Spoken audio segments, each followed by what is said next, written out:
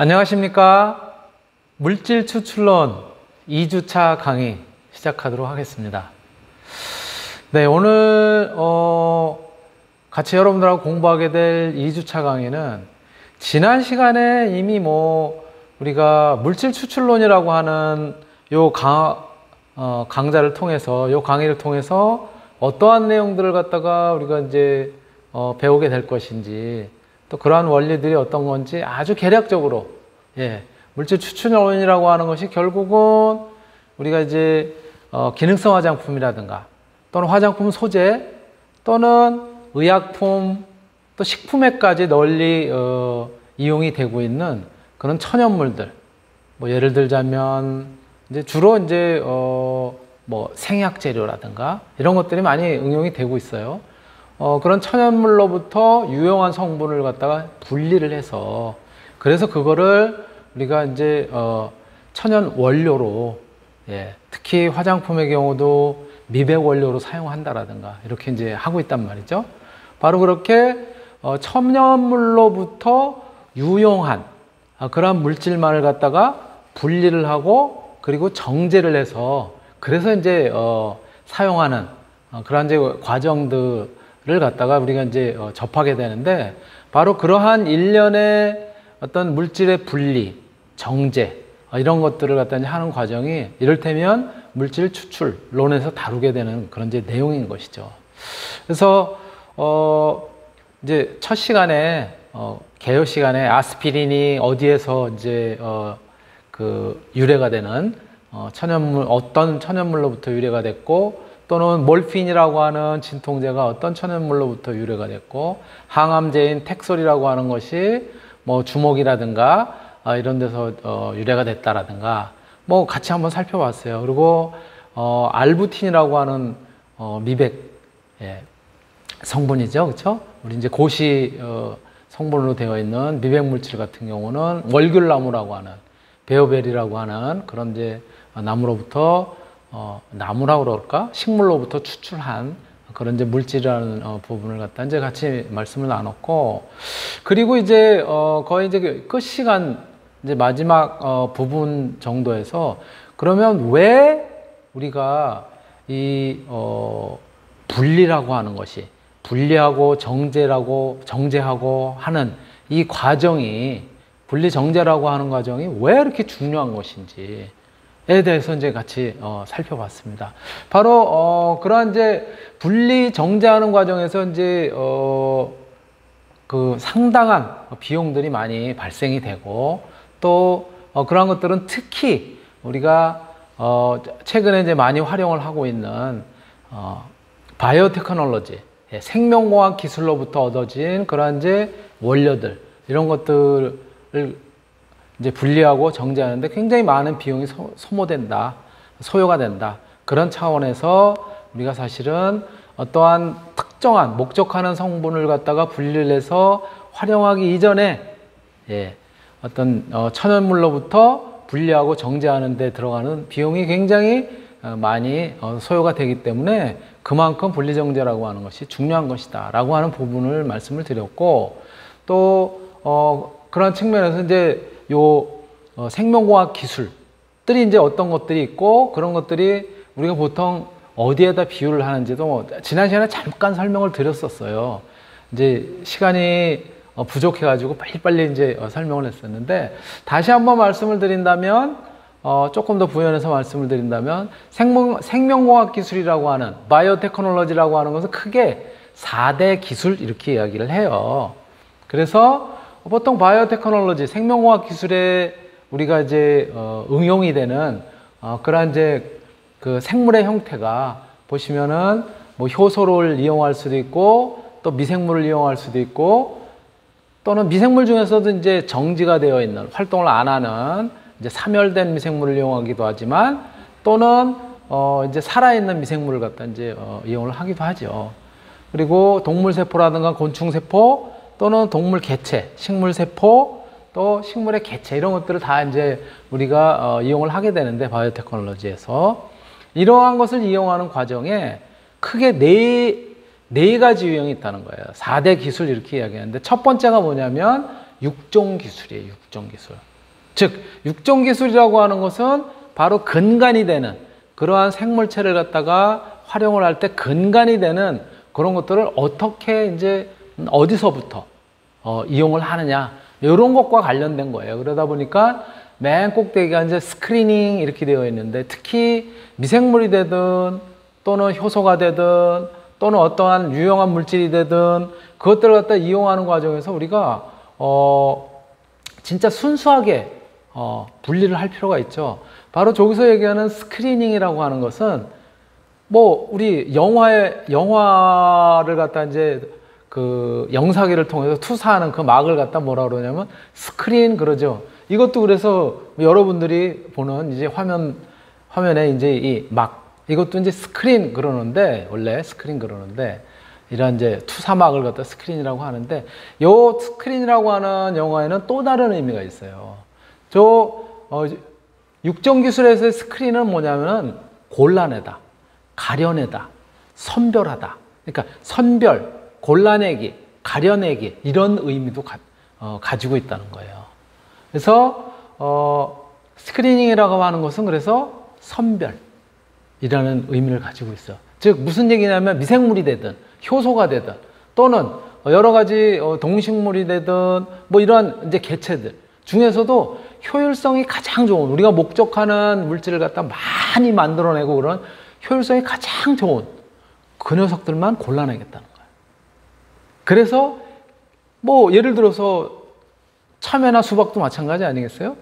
가장 크고 가장 맛있고 하는 것만 그러한 종자만 골라서 걔네들을 갖다가 이제 번식을 시키면 맛있고 또 크고 그런 어 우리가 이제 과실을 갖다가 이제 얻을 얻고 이용을 할 수가 있잖아요. 바로 미생물도 마찬가지예요. 그러한 과정을 screening 이렇게 이야기를 해요. 즉 선별 또는 골라내기 또 가려내기 뭐 이런 의미예요. 자, 또 인위적 변이.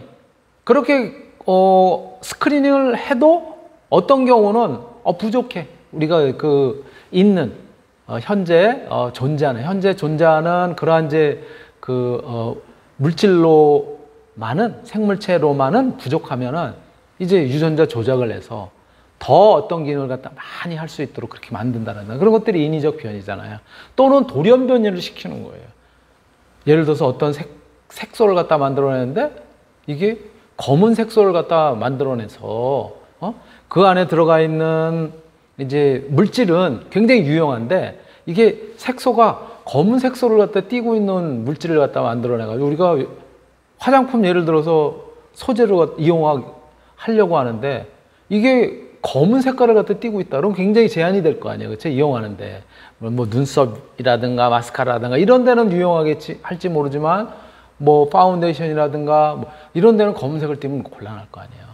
그래서 그런 경우는 이제 돌연변이를 시키는 거. 돌연변이를 시켜 가지고 흰색을 띄게 만든다라든가. 예. 또 교배, 유전자도 아까 말씀드렸던 것처럼 DNA 또는 세포 융합.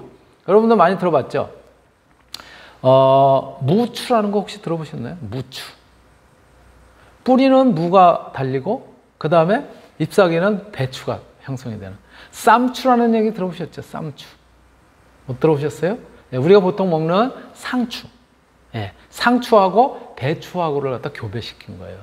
그래서 어, 이 배추처럼 잎사귀도 크지만 또 상추와 같은 그런 이제 부드러운 맛이 나는 예, 그런 것들도 마찬가지 어, 세포융합 또는 이제 교배. 뿌리에서는 뭐 예를 들어서 감자가 나고 줄기에서는 토마토가 나는 예, 그런 것들. 예. 그래서 포마토라고 그러죠. 포테이토 플러스 토마토. 그런 것들도 세포 융합을 통해서 만들어낼 수 있다. 바로 이러한 것들이 육정 기술이고요. 어, 이러한 육정 기술은 기본을 갖다 우리가 다룬다 그래서 어, 강물의 흐름으로 비교, 어, 비유를 했을 때는 상류에 해당이 된다. 그래서 업스트림 이렇게 이야기를 합니다. 그리고 증식 기술, 배양을 하거나 인공수장을 하거나 양식을 하거나 이러한 과정들은 증식 기술. 또 그리고 물질 생산 변환 기술은 발효를 시키거나 또는 어, 바이오리액터, 네, 생물 반응기죠. 이것을 통해서 많이 생, 대량 생산을 하거나 사육하고 양식하는 이러한 과정들, 즉 많이 만들어내는 과정을 우리가 뭐라고 얘기하냐면 중류 이렇게 표현을 해요. 물의 흐름으로 봤을 때. 중류란 거 결국은 강물 같은 경우도 뭐예요? 중류 정도 되면은 상류에 골짜기 이 골짜기 저 골짜기로부터 막 이제 흘러내린 물들이 합해져 가지고 어느 정도 이제 줄거리를 줄기를 갖다 이루잖아요. 물의 흐름에. 그래서 중류 이렇게 얘기를 하고요. 그리고 분리정제와 관련된 것을 갖다가 이제 바다가 바다로 흘러 들어가서 예, 그래서 이제 마지막 단계에 왔다라고 하는 의미에서 하류, 다운스트림 이렇게 이야기를 합니다. 그래서 분리정제는 이제 저렇게 만들어낸 세포적인 단위에서 육종을 하고 그리고 그것을 증식을 하고 대량 배양을 시킨 물질을 갖다 얻은 다음에 그 다음에 우리가 유용한 물질만은 이제 분리를 해야 되잖아요. 분리정제하는. 그러한 분리정제를 갖다가 우리가 downstream 이렇게 얘기를 하고 여기에는 여러 가지 이제 분리하고 정제하는 그런 이제 기술들이 어, 활용이 되게 되는 것이죠. 크로마토그래피라든가 막분리, 원심분리, 추출, 수성, 2상 분배, 전기영동, 뭐 여과, 침전분리, 결정화, 석출, 투석, 뭐 다 들어가는 거야. 그런 것들이 다 어, 분리 정제에 해당이 되는 어, 이야기인 것이죠. 바로 이러한 이제 분리 정제 하는 과정에서 bioproduct 생물질로부터 얻어진 생, 생물체로부터 얻어진 유용한 물질을 갖다가 왜 분리 정제하는데 그렇게 그 분리 정제가 중요한가? 라고 한, 한다면은 지난 시간에 잠깐 설명을 드렸던 거지만 여기 X축이 뭐냐면 가격이에요, 가격. Y축이 뭐냐면 그것이 만들어진 예, 우리가 얻게 되는 그러한 이제 농도예요. 그래서 어, 가격은 킬로그램당 몇 달러 정도. 요 자료는 물론 여기 보시면 1984년도라고 써 있는데요. 굉장히 오래된 자료예요. 지금으로부터 거의 한 40년 전 자료라고요. 그쵸 여러분들한테는. 그쵸 여러분들이 보기에. 그럼에도 불구하고 지금도 꾸준하게 이 자료는 인용이 되고 있어요. 기술도 발전되고 그러죠. 비용은 줄이고.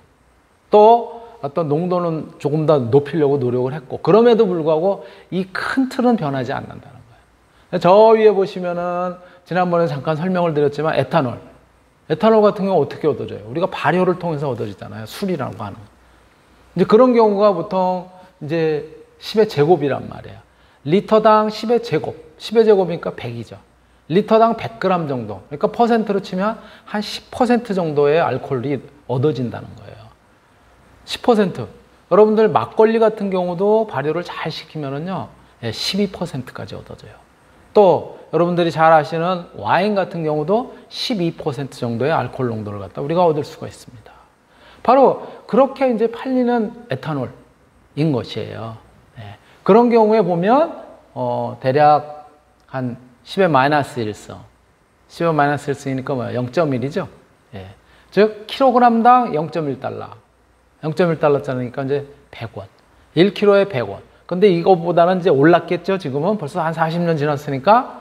예. 지금 여러분들 어 뭐 소주 정도 마시거나 막걸리 같은 경우 어느 정도 합니까? 한 통에 뭐 음식점에서 먹을 때야 비싸지만은 그쵸? 보통 슈퍼 같은 데서 살 때는 뭐 한 2,000원 정도? 그쵸? 천 얼마 정도 뭐 이런 수준이잖아요. 그렇죠? 그러니까 거의 비슷한 거예요.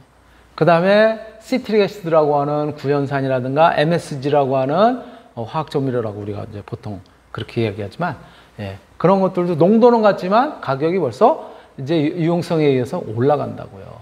그리고 인슐린 같은 경우가 예, 10의 5승, 킬로그램 정도 있으면 10의 4승에서 10의 5승 정도 달러예요.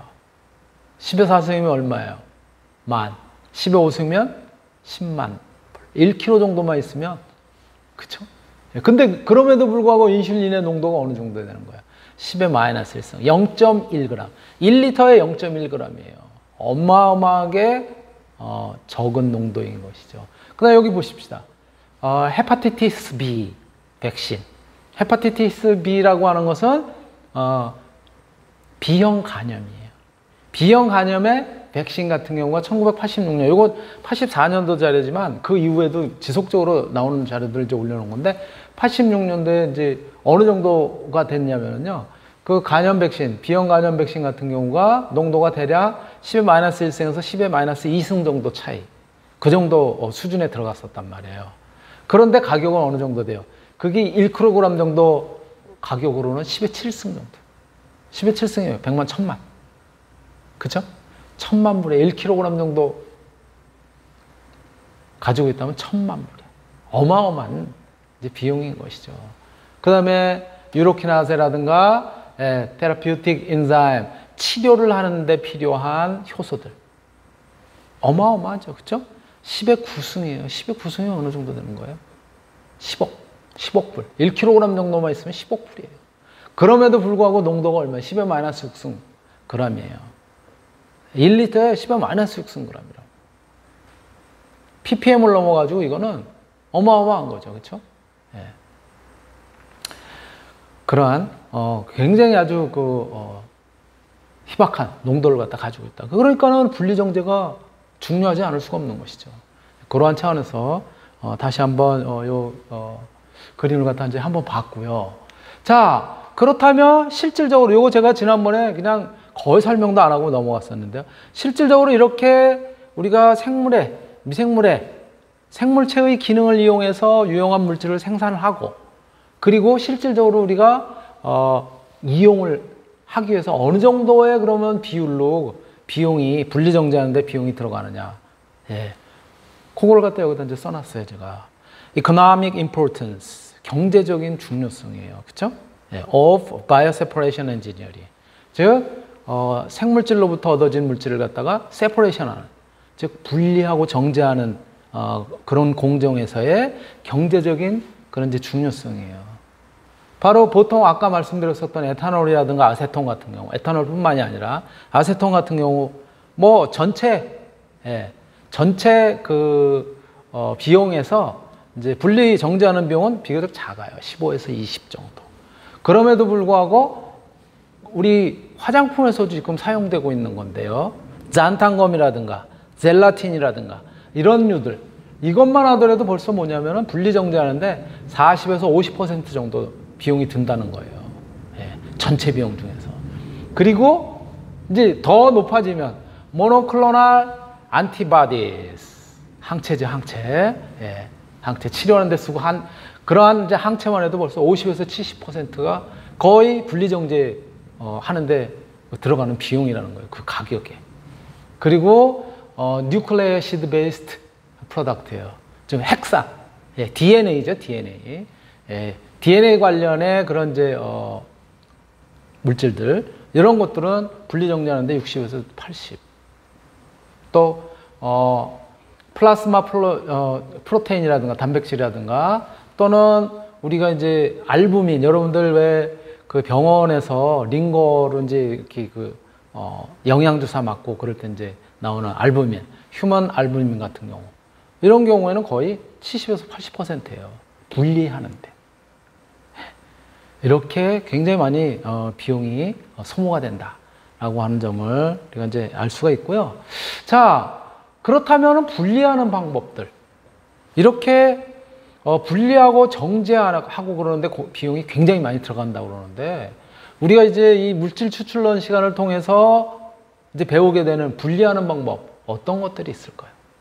이 분리하는 방법은 크게 두 가지 유형으로 나눌 수가 있습니다. 예. 두 가지 유형으로. 첫 번째가 뭐냐면 기계적으로 분리하는 거예요. 그래서 mechanical operation이에요. 주로 기계적으로 분리하는 것들은 물리적인 그런 이제 분리예요. 그래서 그 종류로는 첫 번째 줄에 있는 것처럼 형태로 분리를 한다라든가 또는 크기로 분리를 한다라든가 사이즈죠. 그 다음에 density 밀도로 분리를 한다라든가 또는 electromagnetic property예요. 그쵸? 어, 전자기적, 예, 전자기적 성질을 갖다 이용해서 이제 분류. 즉 자성이 있느냐 없느냐. 뭐예요? 우리 캔을 갖다 버려도 이게 알루미늄 캔인지 철 캔인지 모르잖아요. 그런데 철의 경우에는 자석에 자성을 갖다 가지고 있으면 자석에 턱턱턱턱 가서 붙는다. 알루미늄은 안 붙죠. 그죠? 예, 그렇게 이제 분리를 하는 그런 방법들이 여기 어, 우리가 그 음력캔이라든가 분리를 할때 이렇게 막 섞여 있어도 된다는 거예요. 들어가면 자석이 달린, 위쪽에 자석이 달린 쪽에 컨베어 벨트가 어, 움직이는 데는 거기는 자석이 달린 건 다 저쪽에 가서 붙는단 말이에요. 그쵸? 철이니까. 그 다음에 그렇지 않은 녀석은 안 붙을 거 아니에요. 그러니까 걔네들은 이제 알루미늄으로, 알루미늄 캔으로 이제. 알루미늄 캔만 있는 건 아니고 뭐 또 예를 들어서, 어, 또 다른 유형도 있을 수 있겠죠. 예. 그래서, 어, 철은 저렇게, 예. 전자기적 어, 특성, 예.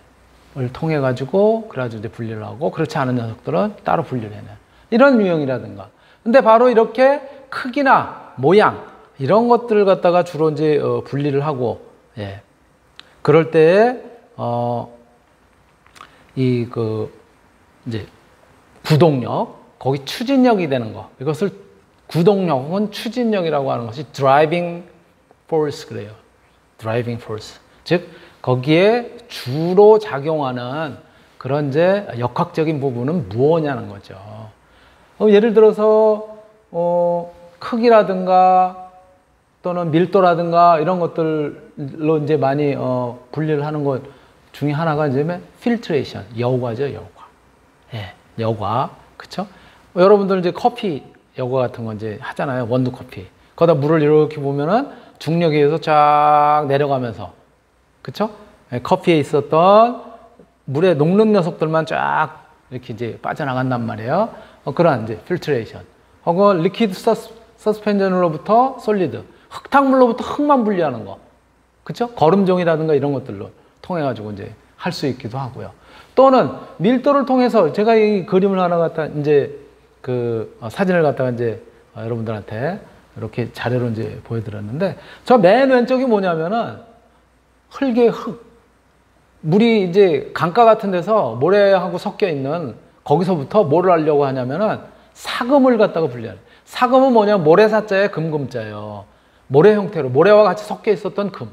우리가 모래 섞여 있는 반짝반짝하는 것 중에 은이라든가 금빛이 나는 것이 대부분은 운모라고 하는 건데요.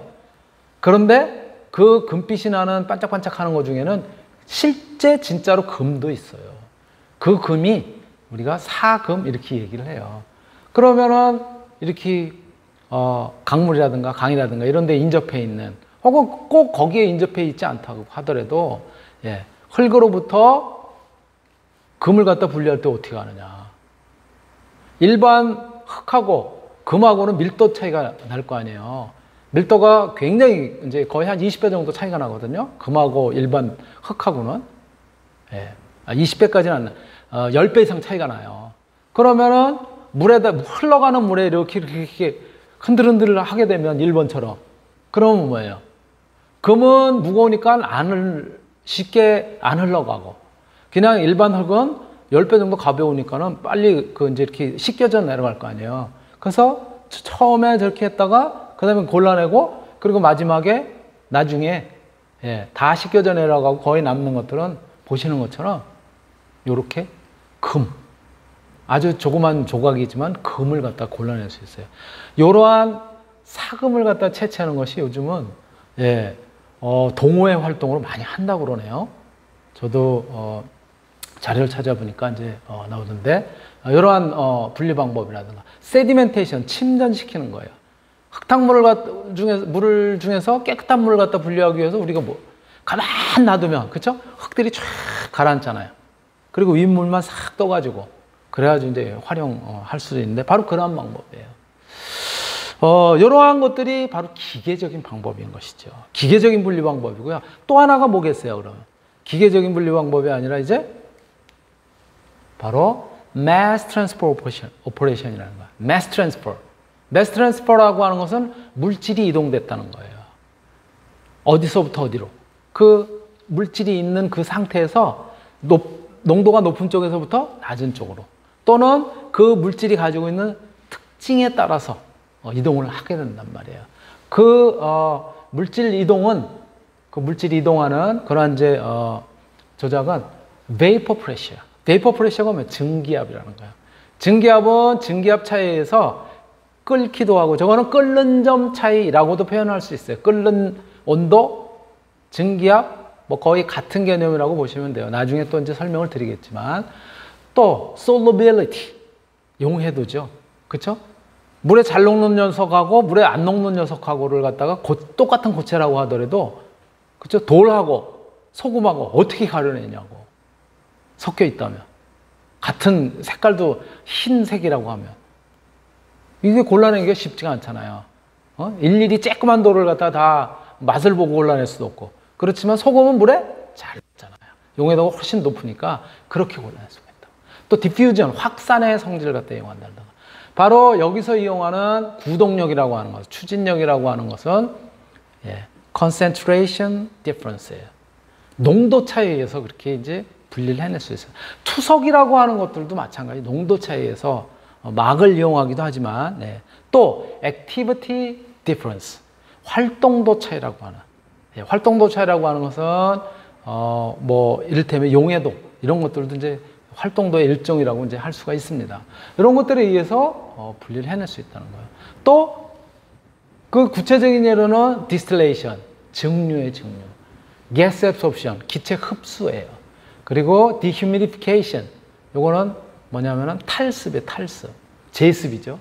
어, adsorption, 흡착, 또 liquid liquid 어, extraction, 추출의 추출.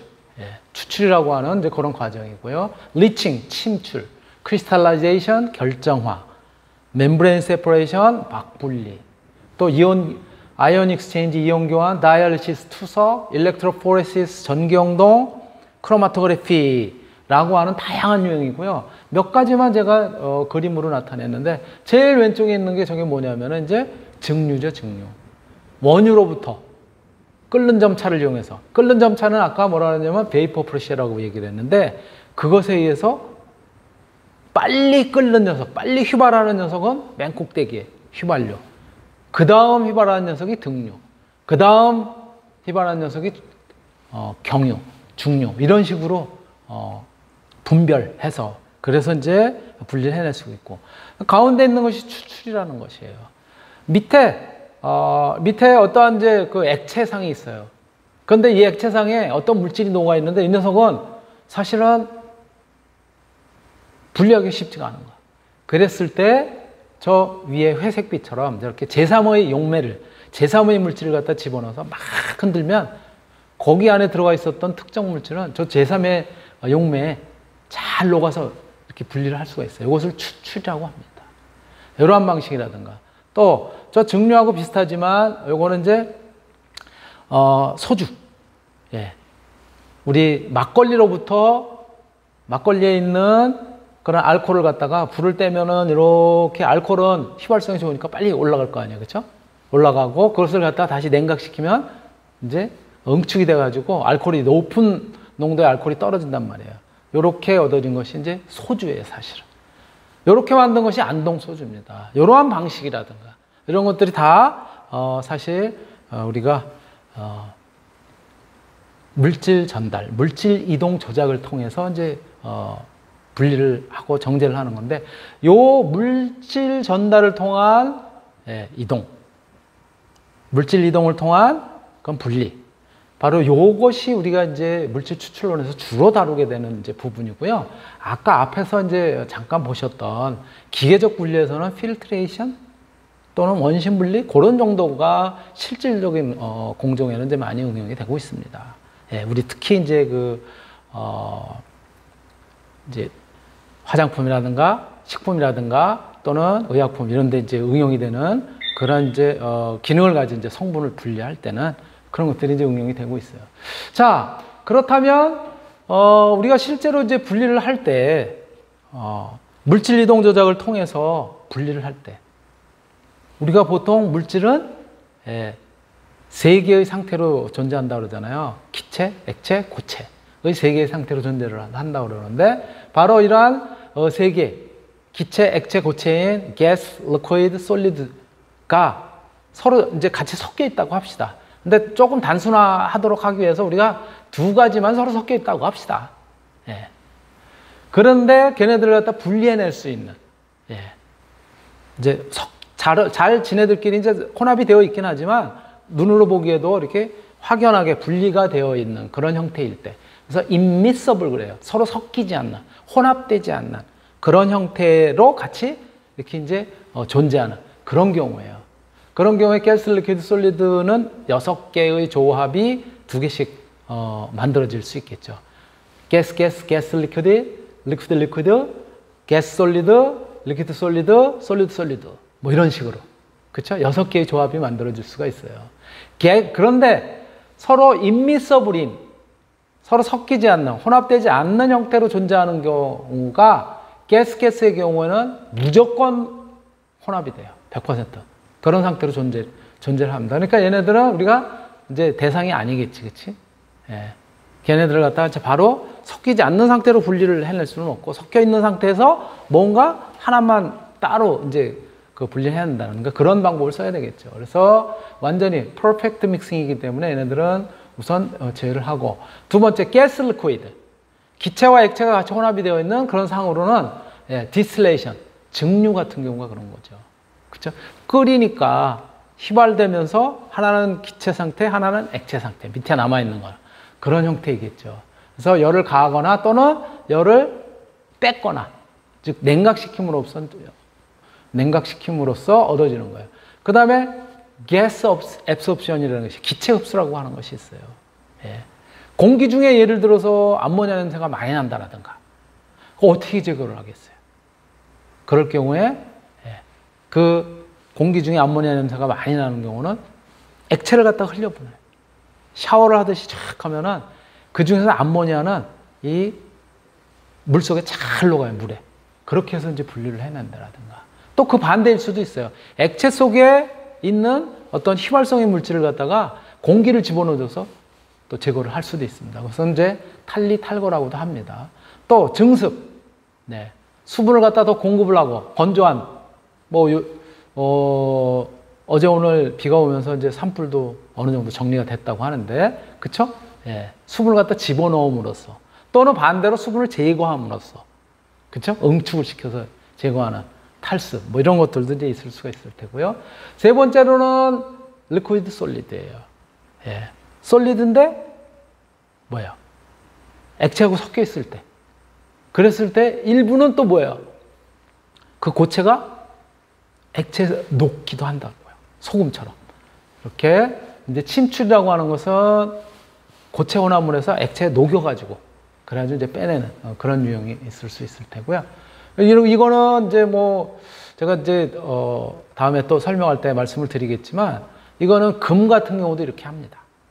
금을 갖다 액체로 액체로 녹여서 예, 할 수 있어요. 바로 거기서 거기에 쓰는 것이 뭐냐면은 이제 어 뭐냐면 청산가리 용액이에요. 청산가리 용액은 금을 녹일 수가 있어요. 예, 그렇게 할 수도 있고요. 그래서 leaching of gold from ores 광물로부터 금을 리칭, 침출해서 낼 수 있다. 뭐에 의해서? by cyanide solution. cyanide solution이라는 게 뭐예요? 그게 바로 청산가리 용액이에요. 청산가리 용액을 이용해서 광물로부터 금을 갖다가 녹여낼 수 있다. 라고 하는 거고요. 또 다른 예로는 저 침출이라고 하는 것이 여러분들 아마 녹차라든가 이런 거 보면은 거기 포장지에 침출차 이렇게 돼 있을 거예요. 커피도 그렇고 예, 녹차도 그렇고 우리가 티백에 있었던 거를 물에다가 이렇게 이렇게 하면은 그 녹차 안에 있는 성분 중에서 뜨거운 물에 잘 녹는 예, 차가운 물에도 아주 미량이지만 적은 양이지만 녹지만 예, 따뜻한 물에 잘 녹는 성분들만 싹 우려내죠. 그걸 침출이라고 얘기를 합니다. 예, 바로 커피 같은 경우 이제 우리가 원두 커피 녹여내는 것도 그렇고요. 흡착.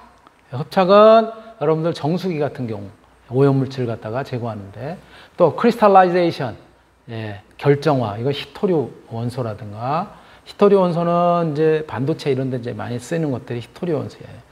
그 다음에 이온 교환 수지, 수중에 이제 물 속에 있는 그런 어떤 이제, 어, 양이온이라든가 음이온을 제거하는 데 많이 쓰기도 하고요. 그 다음에 가스 솔리드, 기체하고 고체하고 섞여 있는 경우. 먼지가 공기 중에 많아. 못 써요. 우리 필터 쓰잖아요. 그쵸? 예, 그런 걸 쓰기도 하고. 또는 adsorption, 흡착을 시키기도 합니다. 그리고 어, 뭐 예를 들어서 수세, 물이 많이 이제 젖어 있다. 그런 경우에는 이제 건조를 시켜서 그래서 제거를 할 수도 있고요. 또 분별 승화에 의한 분리 같은 경우가 뭐냐면은 바로 나프탈렌 같은 경우. 그쵸? 나프탈렌은 공기 중에 바로 고, 어, 고체가 승화를 해버리죠. 그쵸? 분별 승화에서 분리를 할 수도 있고. 그 다음에 액체, 액체. 액체 혼합물로 되어 있는 경우 중에서 어떤 유용한 성분만 끄집어내는 거. 이걸 갖다 extraction이라고 얘기를 하는데요. 요거는 이제 우리가 따로 아예, 어, 챕터를 따로 떼가지고 같이 이제 살펴볼 거고요. 고체, 고체. 고체, 고체는 아까 말씀드렸던 것처럼 주로, 어, 기계적인 그런 조작에 의해서 이제 분리가 되는 경우가 대부분이다. 자석을 통해서 분리한다라든가 또는 뭐, 어, 뭐라 그럴까요? 이제 플라스틱 같은 경우 하고 밀도차를 갖다 이용한다라든가 이런 것들은 우리가 이제 여기서 다루지는 않은 어, 이제 그런 내용들이고요. 이러한 내용들에 대해서는 자세하게 이제 어, 다음 시간부터 어, 살펴보도록 하고요. 1교시는 어, 이걸로 마치도록 하겠습니다.